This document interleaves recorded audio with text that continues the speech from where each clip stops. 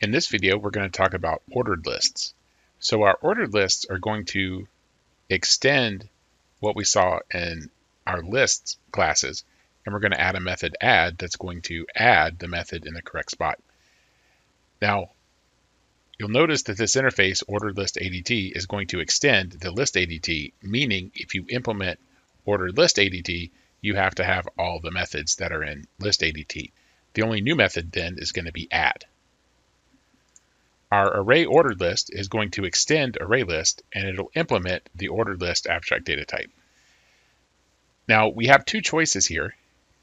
Since this extends array list, we're going to get all the methods that are already there automatically. We could also use containment instead of inheritance here, which would slightly change up the methods a little bit.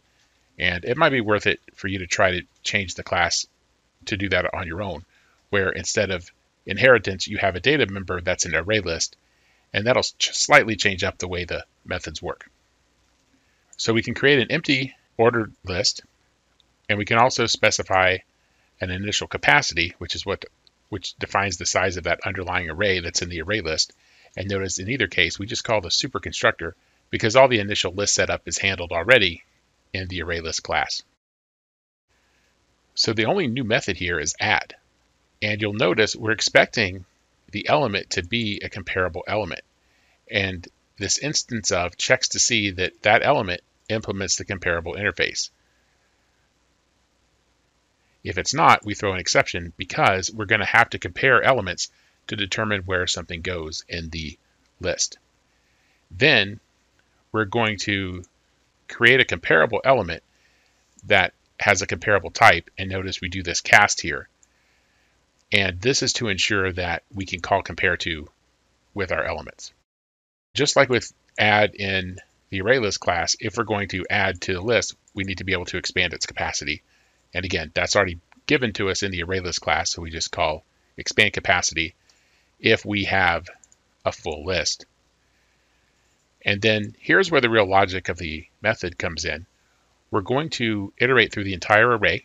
So we're going to start at index 0, and we're going to increment scan until either we reach the rear of the list, meaning there's nothing less to look, or while what we're looking for is larger than what's stored at the location of the list we're looking at. Now we can stop at that point because this is an ordered list. Everything is stored in order. So once what we're looking to add is greater than the item we're looking at, that indicates that this is where we're going to actually add the element in the list. So now we need to make space for the new element.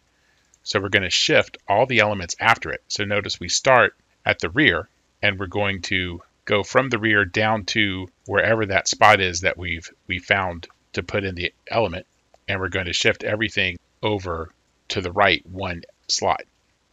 Now once we've done that, that opens up a place in the array to put the new element, and that's at the index scan. And once we've done that, we need to take care of some array list things. We increment the rear, we increment the mod count to indicate that we have changed the list, and that completes our implementation.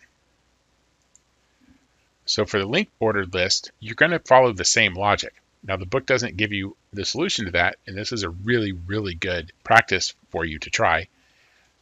But the logic is still the same, except that you don't have to do that shift. What you're going to do is you're going to insert the new element in the correct location.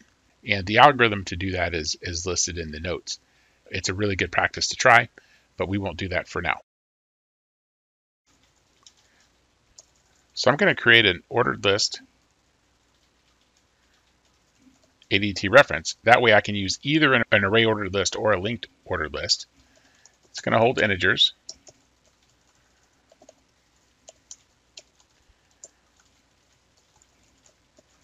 And I'm going to initialize the size to 2 just to show you that that'll get updated as we go. And I'm going to make a random number generator. And then I'm going to have a loop.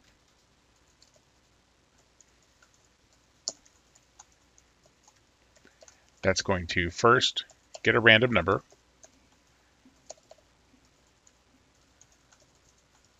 And I'll do a random number between 1 and 100 and then I'll add that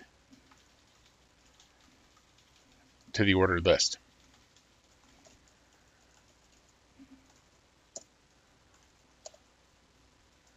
Oops, I have a missing quote here.